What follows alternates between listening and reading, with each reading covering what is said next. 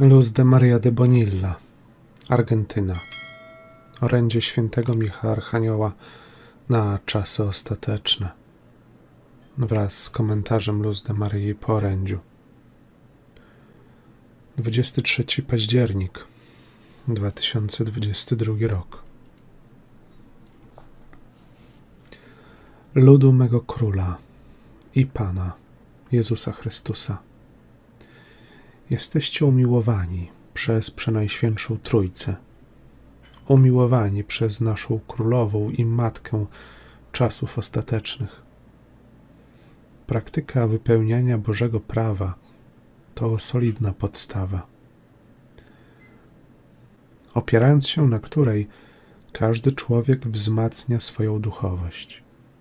I dzięki temu, na koniec, jego wiara jest niezachwiana – i silna.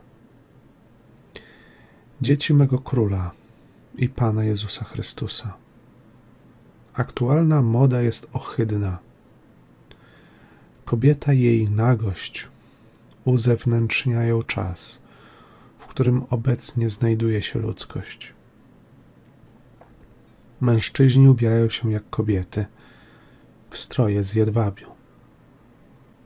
Ludzkość nie zdaje sobie sprawy z tej ery Ducha Świętego, w której dzięki godnemu życiu dziecko Boże zdołało, by osiągnąć większe rozeznanie w swoim postępowaniu, dzięki łasce Ducha Świętego. Ludu naszego Króla i Pana Jezusa Chrystusa. Brakuje formacji, kształcenia chrześcijanina takiej, żebyście byli prawdziwie wiernymi dziećmi Bożymi i ludźmi wiary. Mówią wam, by nie kształcić, formować wielkich erudytów, lecz by kształcić uczniów naszego Króla i Pana Jezusa Chrystusa. Ewangelia według świętego Mateusza 28, 19, 20 z umocnioną wiarą w relacji nieskończonej miłości Bożej do każdego człowieka. W tej chwili jest pilnie potrzebna obecność przy Najświętszej Trójcy i naszej Królowej i Matki w życiu człowieka. Czy ludzkość już doświadcza klęski głodu? Ona już narasta z kraju do kraju aż osiągnie cały świat. Ręka pewnego człowieka władzy sprawi, że ludzkość doświadczy konsekwencji użycia broni, która doprowadzi ludzkość do największego chaosu. Śmierć przegalopuje przez ziemię, zostawiając ze sobą ślad cierpienia. Módlcie się, dzieci Boże. Módlcie się. Ziemia wciąż porusza się w głębinach i ten ruch wzniesie się i wpłynie na jej powierzchnię. Módlcie się, dzieci Boże, módlcie się. Ludzkość dochodzi do wojny. Będzie to najgorszy koszmar, jakiego doświadczy człowiek tego pokolenia. Ludu naszego Króla i Pana Jezusa Chrystusa.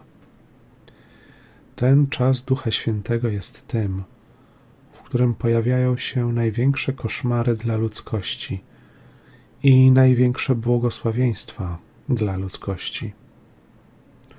Ewangelia według świętego Jana 16, 13, 14. Kto zagrozi Rzymowi lub w innym tłumaczeniu dokona próby zamachu.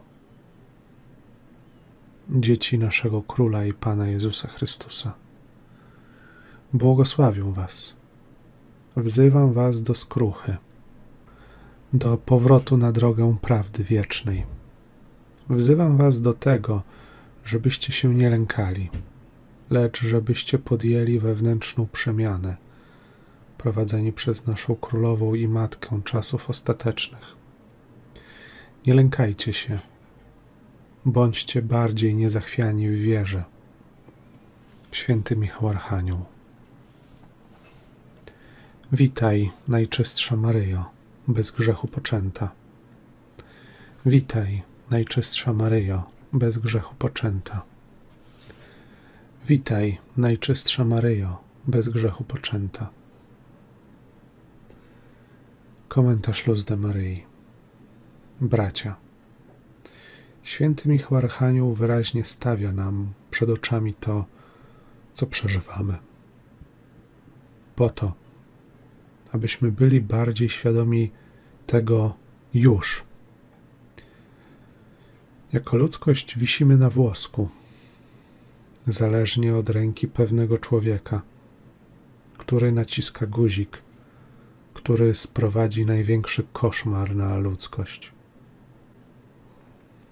Dlatego święty Michał Archanioł zaczyna, wzywając nas do bycia ludźmi wiary i mającymi prawdziwą relację z Duchem Świętym, właśnie w erze Ducha Świętego.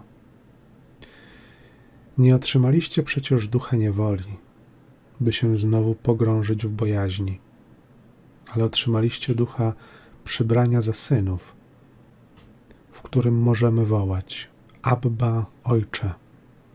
Sam Duch wspiera swym świadectwem naszego ducha, że jesteśmy dziećmi Bożymi. List do Rzymian 8:15 Mówi nam święty Michał Archanioł, że w tym czasie również doświadczymy największych błogosławieństw, a więc niezachwiana wiara, bycia prawdziwymi chrześcijanami w jedności z Duchem Świętym i wypełniać wolę Bożą. Amen. Drogi bracie, droga siostro, jeśli się boisz nadchodzących wydarzeń, to przystąp do spowiedzi generalnej z całego swojego życia. Zawierz siebie i całą swoją rodzinę miłosierdziu Boga. Najlepiej za wstawiennictwem Maryi i świętego Józefa. Przyjmuj jak najczęściej komunię świętą i jak najczęściej, oczywiście wszystko w granicach indywidualnych możliwości. Adoruj Jezusa w Jego świętym tabernakulum, powierzając Mu wszystkie swoje troski i problemy. Amen. 23 październik 2022 rok.